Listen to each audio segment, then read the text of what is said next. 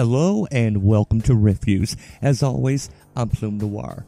Now, as I have done the past few weeks, Thursday rolled around, and when I came home from work, I fired up Disney Plus to watch the latest episode of She Hulk.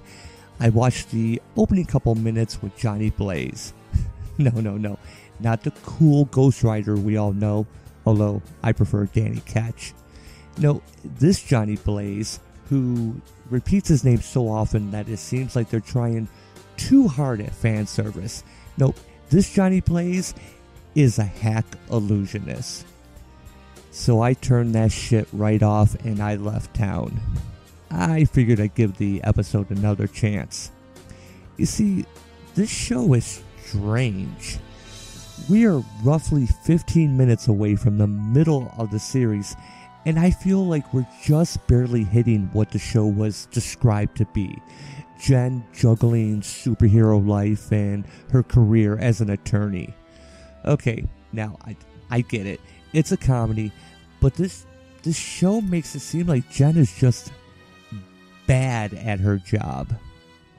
You see, there's two plot lines running through this show. Wong is suing Johnny Blaze for his misuse of the mystic arts, and Jen is getting into the dating scene. Now, guess guess which one of these is the main and better plot of the show? Hint: It's not Jen's, even though her name is in the title. So let's take a look at Jen's plot first. Nikki comments on Jen's dating profile, and Jen is barely getting any matches. But once Jen creates a dating profile as She Hulk, the matches start rolling in.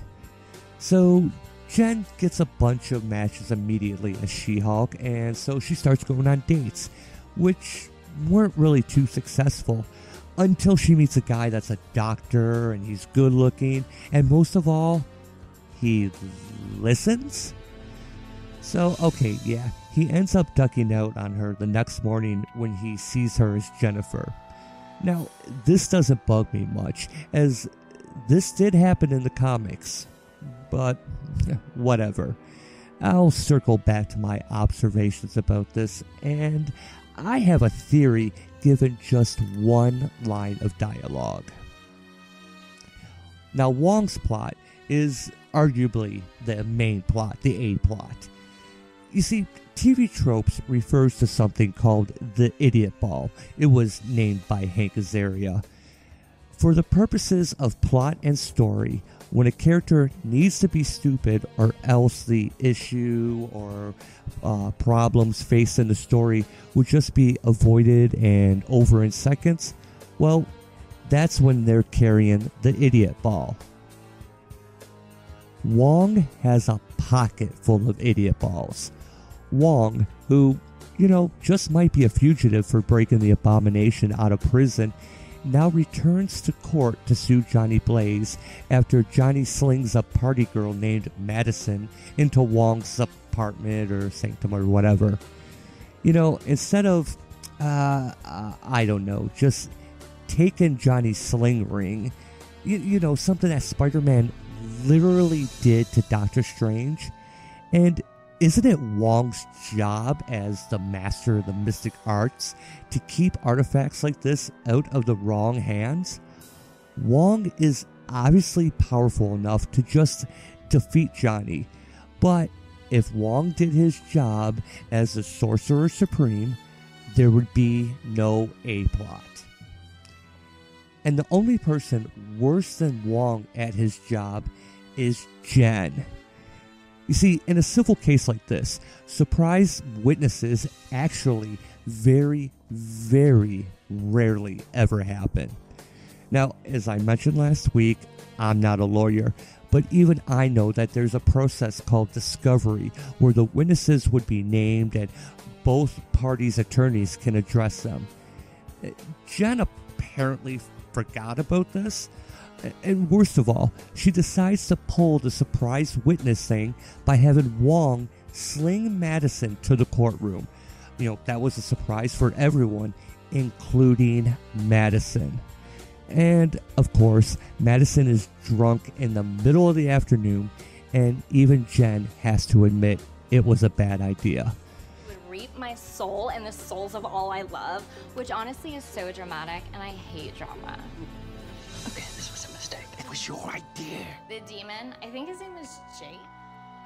Now back to Jen's plot.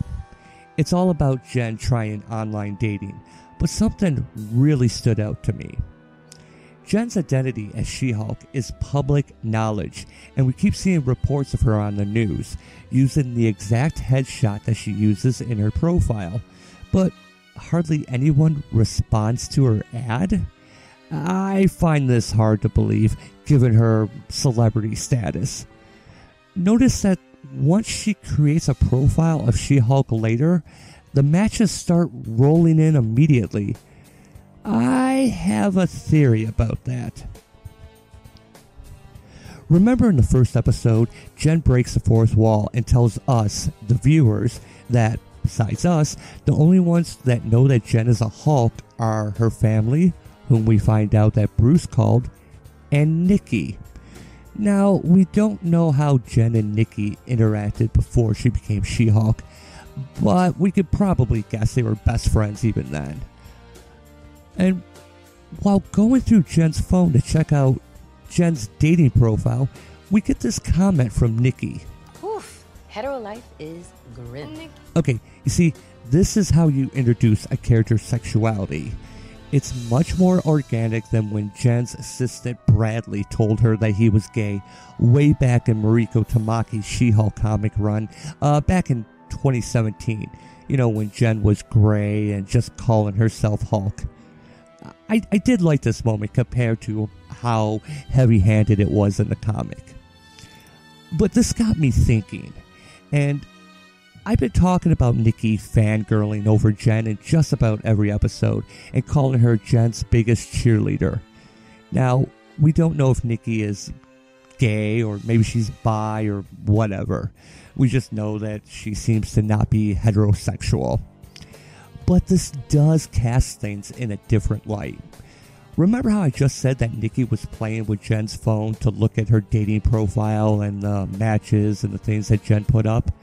Uh, There's even a joke later on when Jen gets an alert that she has no matches, and this is what causes her to make a separate She Hulk profile, the one that gets so many hits. And this got me thinking what if Nikki sabotaged Jen's dating profile? What if Nikki set it up that Jen wouldn't get as many matches? Well, at least until Jen started over with a new profile that Nikki had not touched. Could it be that Nikki has a gay crush on Jen, especially now that Jen is She Hulk? I mean, Nikki being Jen's biggest cheerleader, that now seems almost like she has a thing for her. At least that's how it's starting to look to me because she is just way, way overly obsessed with Jen. Now that we've seen the first four episodes that the media and critics were allowed to see, what score would I give this episode? Not as high as the critics, let me tell you. But surprisingly, I gave it a 3. Wong and Jen are idiots.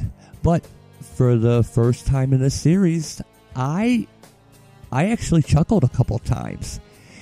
Even the character Madison, she wasn't funny at first, but her constant drunken antics somehow horseshoed back around to being funny by the end, given how hard they leaned into it.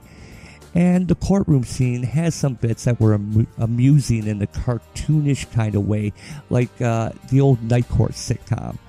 Now, had the show not actually made me laugh, given that it is a comedy, I would have probably gone with a 4 o'clock or even lower. I mean, Jen is so inconsistent, you know, her characterization. So I'm hoping that what we're seeing will be explained in a future episode that Jen is less inhibited as She Hulk, just like in the comics. Well, anyway, that does it for me this week. Thanks for watching, and I'll see you next time. Um, seriously, Jen, that goo all over you, yeah, that goo is demon guts. Hell, uh, that that's a demon thumb you just flicked out of your hair. You look like you just stepped out of some harem themed hentai. I know you're thirsty, but go shower for Christ's sakes.